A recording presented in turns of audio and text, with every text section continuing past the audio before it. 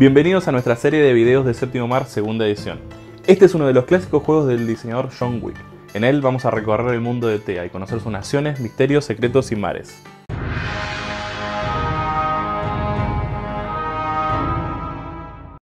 Este es un sistema basado en la Europa del siglo XVII, así que vamos a tener una buena mezcla de espadas, magia y rasgos del viejo continente. TEA está dividida por naciones muy variadas en cuanto a forma de gobierno, magia y todo lo que puedan. En este momento hay 10 naciones y cada una representa un país de aquella época. Por ejemplo, Castilla sería España, Bodache sería Italia, etc.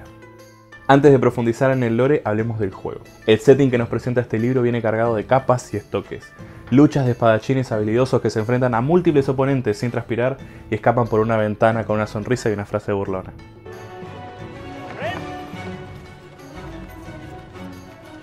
This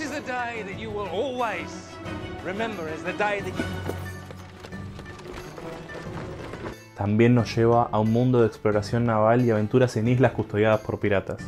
Hay sociedades secretas con planes y conspiraciones inimaginables y muchas cosas más. Primero vamos a ver cómo funciona el sistema de dados. En este juego solo se utilizan de 10. Y para hacer una tirada hay que sumar la característica y la habilidad que tenés. Por ejemplo, si tenés característica músculo 3 y tu habilidad es atletismo 2, entonces tirás 5 de 10. Ahora la parte que hace única al sistema, los aumentos. Esto es lo que entendemos como dificultad de la tirada, porque para tener éxito tenemos que superar la cantidad de aumentos que nos da el DM. Los aumentos son dados que al sumarse suman 10. Por ejemplo, si tiramos 5 de 10 y sacamos 8, 5, 5, 4 y 2, podemos agarrar el 8 y el 2, sumarlos y superar un aumento. Si agrupamos los 5, tenemos un 10 y tenemos otro aumento. Es importante remarcar que solo importa llegar hasta 10. Si sumamos dos números y superamos el 10, no importa. Por ejemplo, en la tirada anterior, 8, 5, 5, 4 y 2, sumamos el 5 y el 8, tenemos un 14. Esto solo va a contar como un aumento porque el 14 no le podemos sumar nada más. Y por último, se pueden sumar cualquier cantidad de dados para llegar a un aumento. Por ejemplo, en la tirada anterior podemos agarrar el 5, el 4 y el 2 y tener un 11. Esto supera un aumento igual. Ahora viene lo divertido. Estos aumentos te van a permitir a vos como DM agregarle riesgo a la acción. Cuando te toque describir un escenario, es importante agregar muchas opciones, así los jugadores saben qué pueden usar para lo que quieren hacer. Así que agrega cuerdas, candelabros, ventanas, pistas, todo lo que puedas.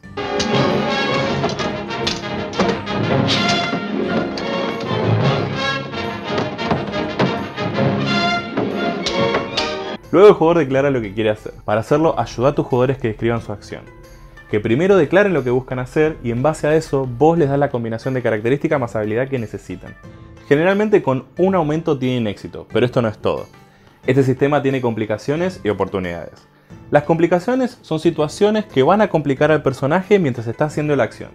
Para poder sortearlas sin sufrirlas, va a tener que superar más aumentos. Por ejemplo, el héroe tiene que correr por los techos para escapar de los guardias. Entonces vos le decís que tiene músculo más atletismo para hacerlo. Y lo que sigue es que vos le digas cuántos aumentos necesita para lograr la acción. Un aumento para escapar de los guardias, pero las consecuencias son caerse del techo. Y esto le puede generar dos heridas. Cada herida va a ser un aumento más. También ve que en uno de los balcones cerca por los que va a pasar él está el villano, el conde que lo acusó de asesino y por eso lo persiguen los guardias. Está en una corte comiendo torta, así que esta puede ser una oportunidad para humillarlo. Y esto genera un aumento más. Entonces tiene un total de 4 aumentos. Uno para tener éxito, dos por cada herida y uno para la oportunidad. Entonces el jugador agarra sus dados y tira. Y puede que no le salgan todos los números que necesita para superar los 4 aumentos. Y por eso va a decidir cuál de los aumentos va a superar. Si en esa tirada de 4 aumentos solo superó 2, va a poder elegir escapar de los guardias y humillar al conde, pero va a recibir las heridas. Y esto es genial, porque genera un sistema con múltiples opciones que al final del día el jugador decide cuáles van a ser. Hay más detalles sobre las tiradas, pero ya las vamos a ver más adelante. Ahora les dejo la pregunta del día. ¿Qué les pareció el sistema de dados? A mí me encantó. Como todo sistema de dados, suena más difícil de lo que realmente es. Si les gustó el video, déjenos un like.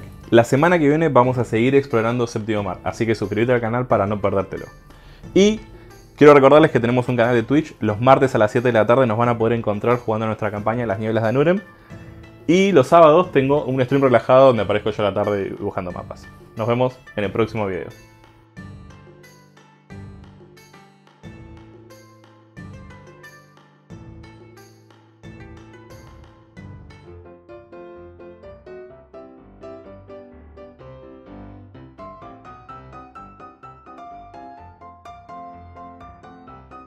Como ya saben, antes de los bloopers queremos hablarles de nuestro Patreon.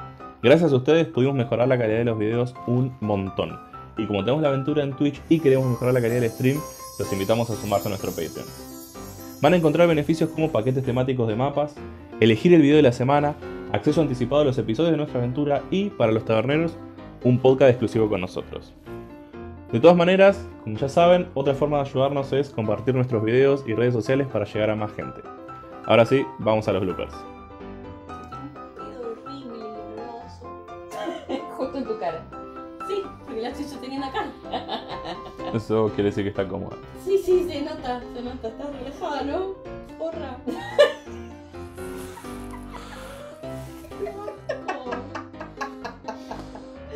Encima me lo fumé todo, no me saco la nariz.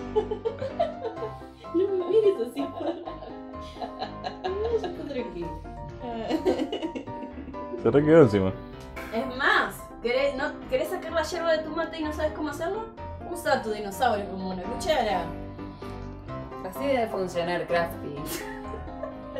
Deben tener una rueda gigante con palabras al azar. Yo imagino que agarran cajas de boludeces y tienen una mesa grande y un montón de gente y la empiezan a tirar ahí. Y le asignan a cada persona que agarre tres cosas al azar.